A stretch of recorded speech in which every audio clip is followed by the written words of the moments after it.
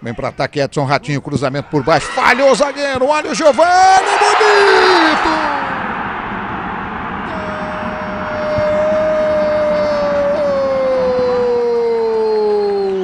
É do Mojimirim!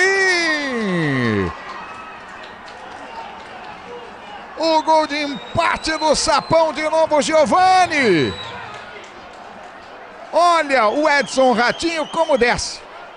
Ele faz o cruzamento e o Leandro Silva de tíbia acabou pegando na bola, falhou o zagueiro e Giovanni estava lá para conferir sem perdão. Aos 32 minutos do segundo tempo, tudo igual em Mojimirim. Dois para o Mogi. Olha a comemoração do Giovanni. Dois para o Bragantino. É isso aí. Em que pé está